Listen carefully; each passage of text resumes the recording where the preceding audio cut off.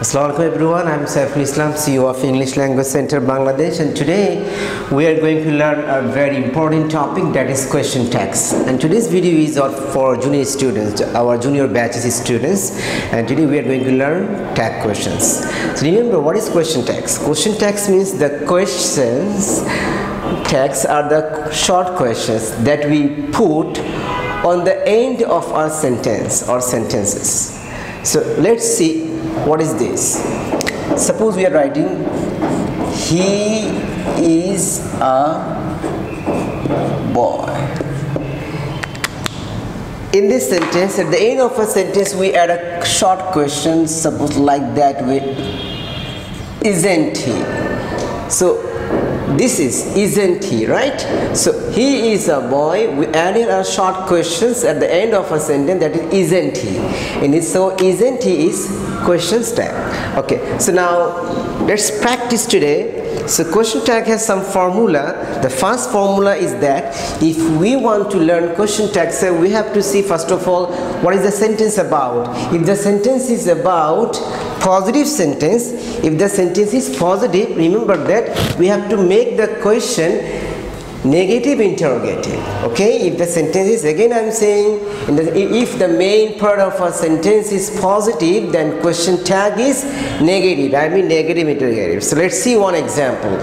He is a doctor. The sentence is positive right so now see he is a boy the sentence is positive so we have to make your questions negative interrogative and we have to remember all the time that in tag questions pronoun pronoun will be used as subject suppose if i get here Sadia, right?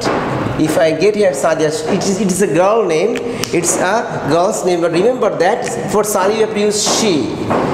if I use the boy, the boy, we have to use here he. So remember that in tag questions we have to use all time pronoun as subject. So that's why now see he is a doctor in this sentence we have used what is auxiliary here is.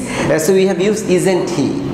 And next one sentence you want to work in a bank. A bank you want you work in a bank. In this sentence see it is a positive sentence. So here no auxiliary verb. So we know that it is present indefinite tense. That's why we have to take here do or does but see in this sentence you are so we have to take here do so question is don't you so this is the first rule if the sentence is positive we have to make negative interrogative tag questions. So now see let's next one. Next rule next rule is that if the sentence if the main part of a sentence is negative remember we have to make the question tag positive interrogative. Let's see if the main part of a sentence is negative then the question tag is positive so see you haven't met him eh, this sentence is negative right so that's why we have to make it positive interrogative so now see have you we have my questions here have you now next sentence she isn't coming so in this sentence, it is also negative sentence. That's why we are taking is as auxiliary and subject is she. That's why taking is she. Is she. Are you clear guys? Again I am saying if the sentence is positive we have to make it negative interrogative tag questions and if the sentence is negative we have to make it positive interrogative. So, so now we have to solve something. Now see we have to remember one thing that how the tag questions be formatted.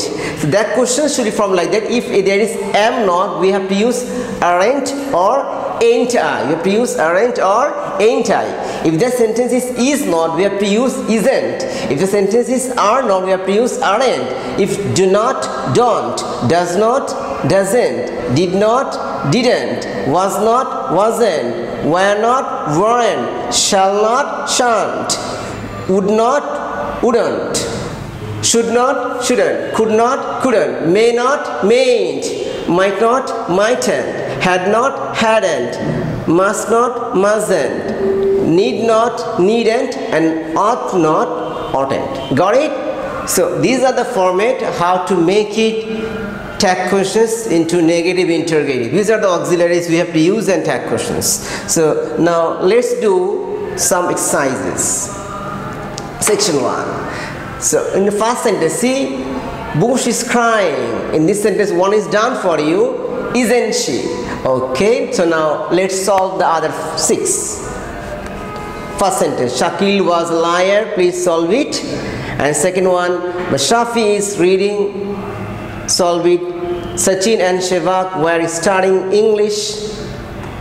And second one, there are many students in this school. And the last one, I am a good player. Please solve it.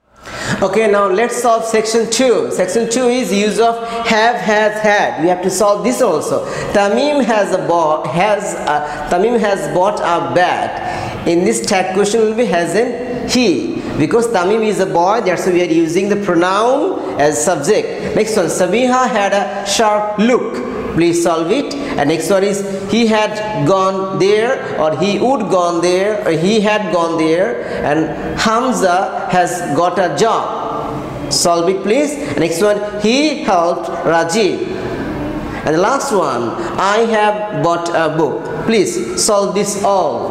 Last one we play cricket. So see if the sentence doesn't have any auxiliary. Then we have to see the verb is verb 2 or verb 1 if the verb is verb 1 we have to use do or does. Does will be used for he she it and one name and do will be used I we you they have in the third person plural or second person or first person also. We can use do. So now see we play cricket. In this sentence we play. We subject but subject is what?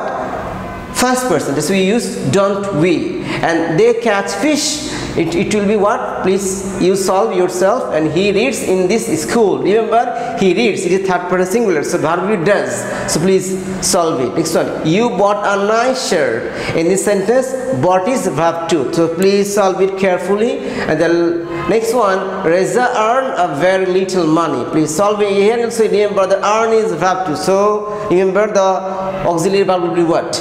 And last one. He invited us. In this sentence Invite also verb to please solve carefully. And the next one is Rajiv and Sajib play football. Please solve this all as we have solved our previous one right? So now let's see the basic rule 2 we have learned the basic rule 1 and 2 what was the basic rule 1 basic rule 1 was if the sentence is positive we have to make it negative interrogative right? And the second one was if the sentence is negative we have to make it positive interrogative.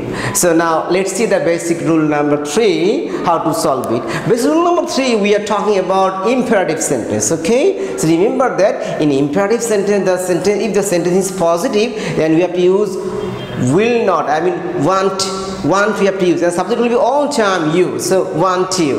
Okay? And if the sentence is positive we have to use will you. But remember in modern time we can use for positive or for negative imperative sentence. We have to use all time will you. Will not use want you. Okay? So this is I am talking about. In imperative sentence says question tag will be want you or will you is used. Remember again in imperative sentences question tag want you or will you is used. So remember another rule that if the, uh, if the sentence starts with letters or let's letters or let's it's a proposal remember that so if letters if uh, if an imperative sentence starts with let us or let's. Remember that we have to use the shall we. We have to use shall we. Remember we have to use what? Shall we. So now see go to school. Obviously it's an imperative sentence we are using. Go to school. There is no subject. So we know that. In imperative sentence you is subject right? In imperative sentence also have you subject. That's why go to school we are saying want you. And or we can say will you. Or we can say will you. Remember i said i said you first time that in imperative sentence we can use for positive or negative will you. No problem. And second sentence john come here. Obviously this this is imperative negative sentence. That's why we're using will you. Will you will you? Okay? The last one let's drink sorry. Let's drink tea. Let's drink tea you see this is a proposal sentence right also it is imperative sentence so we start it, it starts with let's so we know if the sentence starts with let's or let us we have to use shall, right? So now see shall we. So let's drink tea, we have to use shall we. Because why there is we, you are thinking, right? So let let's means let us. Let means what? Let us. And us is the objective form of we. That's why we are using we uh, as subject. That's why it shall be, not shall you. Remember. Okay, as we have learned the rule in imperative sentence, right? That if the sentence is positive or negative, we can use will you. But if the sentence starts with let's or let us, we can use shall we, right? So now let's solve. Open the door. Open the door. This sentence is done for you. Will you? Why we can use will you? As I said, will you or we can use want to next sentence. Don't forget me. It is imperative sentence why will you? Let's go out for a walk. In this sentence let's go. It's a proposal and it, starts with imperative sentence. That's uh, sorry in, it starts with let us. Right or let's. That's why you're using. Shall we? So uh, others you have to solve it. Solve yourself. So now please see the first sentence. Give me a cup of tea. This sentence is imperative. Please solve it. Next one. Let's do the work please you have to solve it. And the next one write a letter. You have to solve it. And the last and the next one let's have a picnic. Please solve it. Don't forget me. You have to solve it. And next one shut the door. And the last sentence let us go home. Okay you have to solve this all. Please i am waiting for your response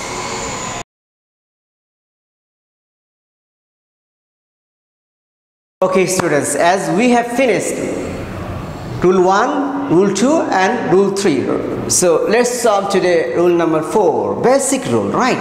This is a very critical one.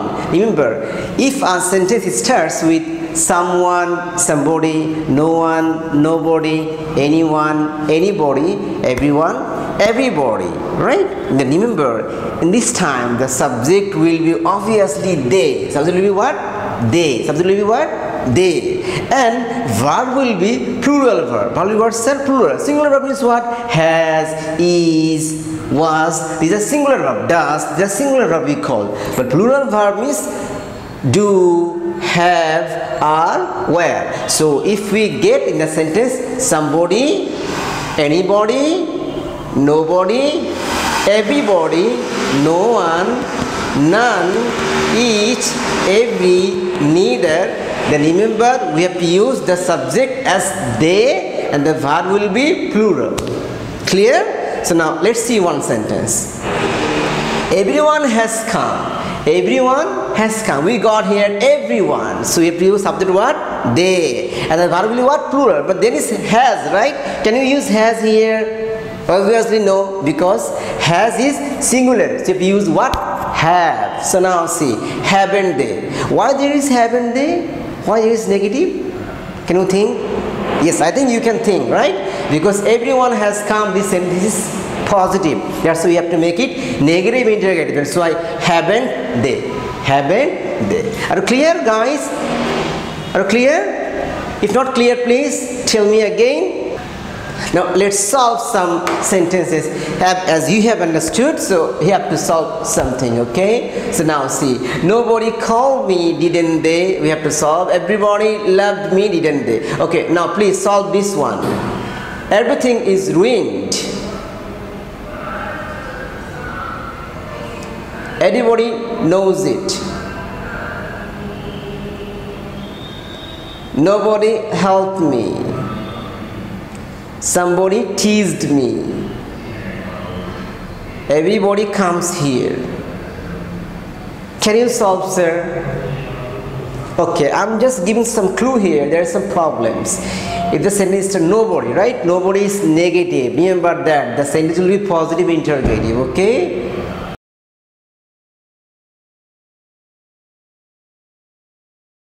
Okay guys, as we have solved basic rule 1, 2, 3, 4 and now let's solve basic rule 5. Basic rule 5 is very important for us because basic rule 5 is saying something that we have learned first basic rule 1 and 2, right? If the sentence is positive, we have to make it negative interrogative and if the sentence is negative, we have to make it positive interrogative, right?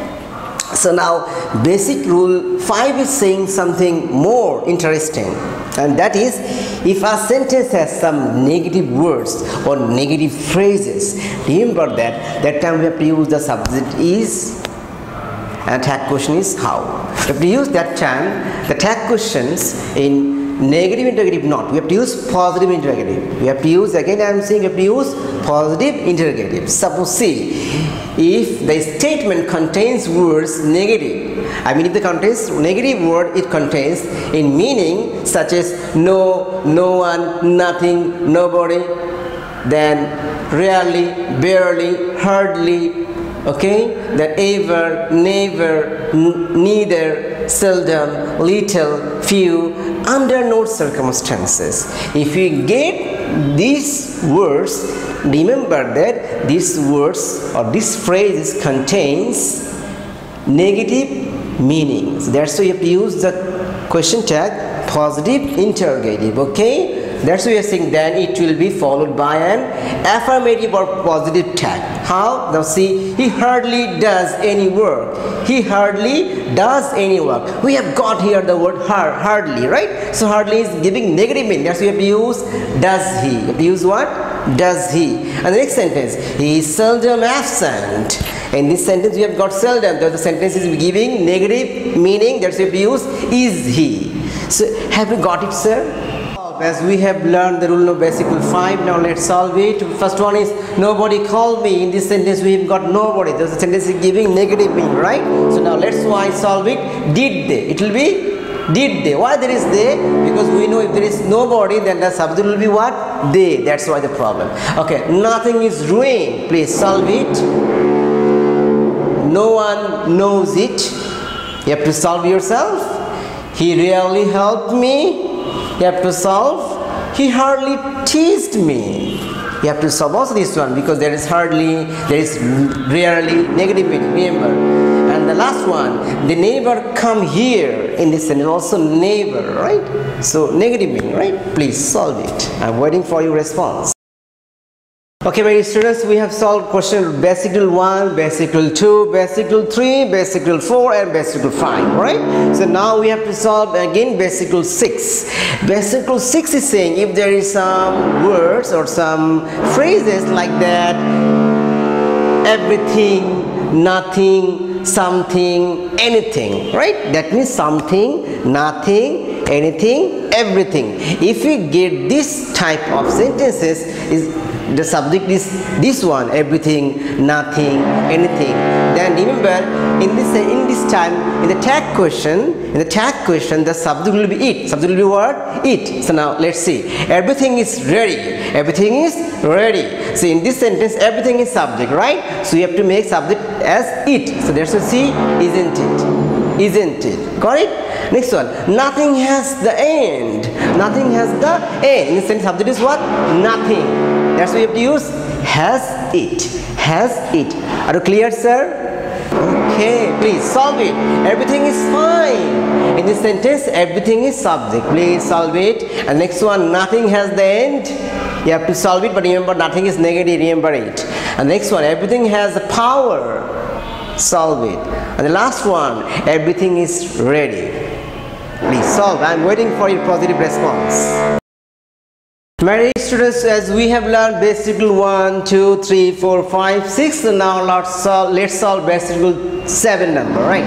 7 number, we, we will learn a new thing that if a sentence subject is these or that, these or those, then what we will, how we will make it tag question. Remember that if a sen sentence has this and that, again I am saying this and that, that we have to use in tag question the subject will be it. Subject will be what sir? It. Subject will be what? It. Subject will be what? It. And next one if sentence subject is these or those. Remember subject will be what? They. Subject will be what? They. This is the basic rule number seven. Now see when we are looking at the screen when the subject of a statement is that or this then the pronoun in the tag question is it but when the subject is these or those then a pronoun will be then a pronoun is they. Pronoun is they. Remember it okay? Don't forget it. If the subject is what? These or that then in tag question the subject will be it.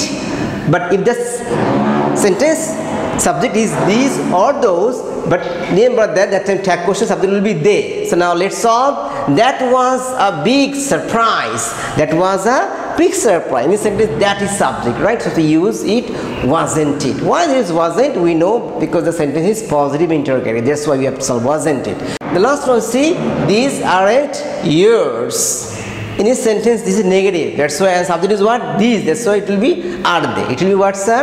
Are they. So are you clear the rule sir? Rule number seven are you clear? In rule number seven you're clear. So they have to solve something. Section number seven you have to solve it. See in this sentence given that is nice. Subject is what that. Please solve it. Those were new. Subject is what those. Next one. This is my cat subject is what this solve yourself. Next one. These are their tools. Please solve it. Because subject is these. Solve please. I am waiting for you. Positive response. Okay students no more today. Please learn from rule number one two three four five six seven and hope you will study well. And please don't panic. Don't be panicked. Please study seriously. Inshallah hope we will meet next class